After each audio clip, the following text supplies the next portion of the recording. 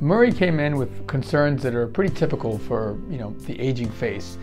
Just when you look in the mirror, something doesn't look right. It doesn't you don't I don't look the way that I feel.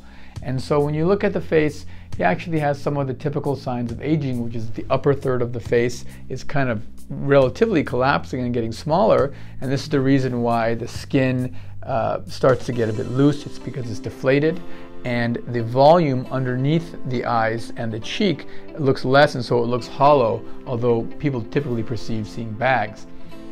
Now, as we know, as the face is aging, the upper third is shrinking and the lower third is usually kind of getting a bit bigger. Uh, and so Murray is a very athletic guy, very healthy, and he has really strong jaw muscles. And so on him, uh, uh, it actually accentuated the aging process by making the lower face seem even wider.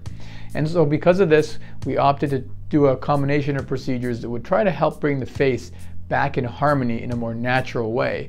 And so what we did is an upper blepharoplasty, removing some of that loose skin, a lower blepharoplasty where we took some fat from inside his eyelid, moved it, and did a little pinch of skin to tighten the skin.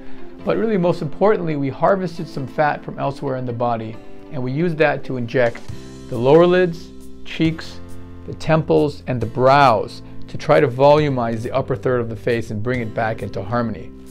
Murray's recovery was pretty standard as it is with most patients that have eyelid surgery. There's typically some bruising and swelling for the first few days, uh, and that typically starts to get better every day after about day three. Fat grafting actually starts showing its effect at about six months, and that's when the face really starts glowing, if you will. We're, we're really happy with his result. It looks subtle, he looks masculine, and you can tell that uh, the face just looks a bit better, but you wouldn't tell exactly what happened, which is always the result that I like.